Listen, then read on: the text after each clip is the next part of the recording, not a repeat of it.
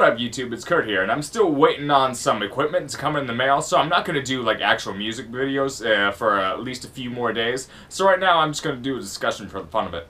And this is a topic that I think is very interesting, and um, it's one that's been a hot debate recently. Um, and it's whether or not uh, record labels really care when their artists die. Uh, so before I even jump into this uh, argument that might be a little bit controversial, I want to show you this chart, and I feel like this speaks a lot of volumes.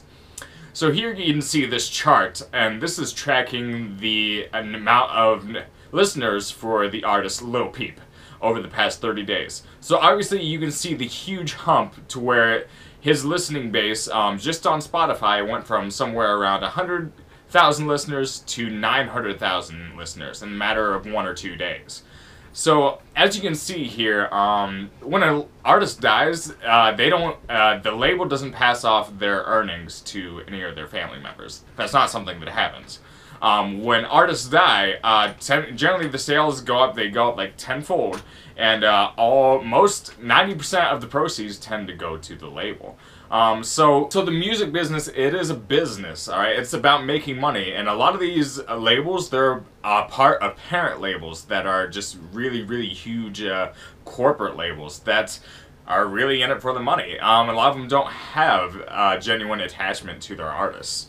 Um, so I would go so far to say as these uh, companies, they probably rejoice when a lot of their artists die, to a certain degree. They don't do it publicly, but privately, they're like, yes, our artists die. And that's very cruel and capricious, but that's just kind of the nature of big businesses in general. Um, so like when uh, Tom Petty passed, Tom Petty might have been on a label for a really long time, so maybe he formed some more uh, direct connections with those people.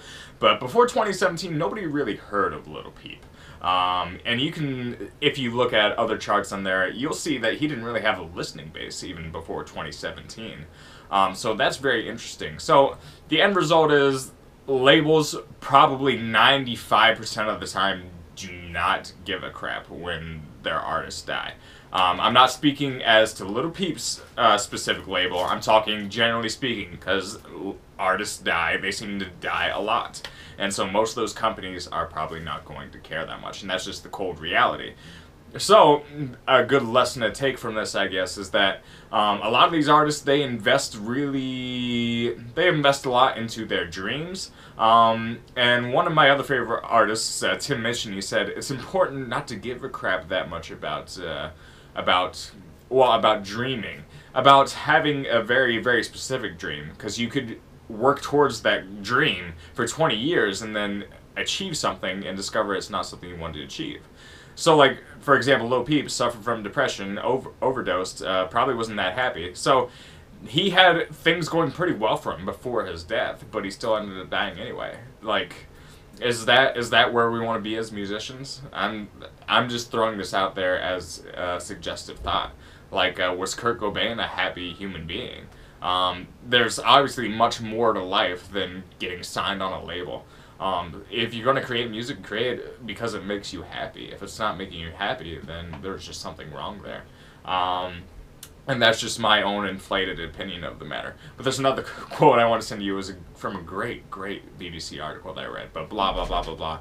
Um, but honestly, I like uh, the discussion-based kind of thing. So if you have any comments or questions or concerns, feel free to leave them in the comment section.